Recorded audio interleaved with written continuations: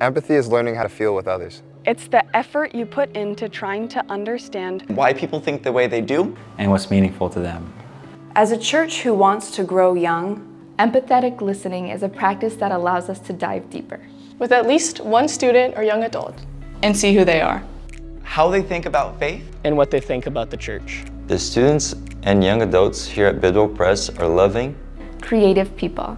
We like to raise more questions than we have answers. It's likely we define ourselves by who we are not than who we are. Our search to belong is one of our most pressing quests, greatest stressors, biggest disappointments, and loneliest endeavors. Our friendships change with every move and every relationship status update, making us relationally cautious and selectively loyal. We love our churches when they accept us.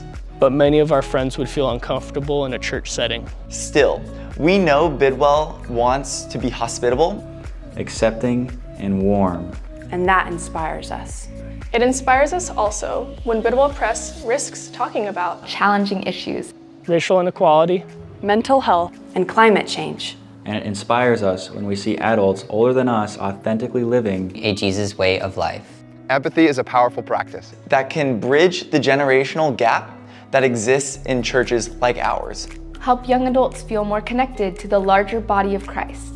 And increase warmth in our faith community. So, if you want to empathize today, don't be afraid to ask us for a bit of time to get a little deeper with one of us. We can't promise we'll be available. We're always trying to catch up in some part of our life. Our lives are always in motion. Just don't give up on us. You offer good news to us. And we can offer good news to you too.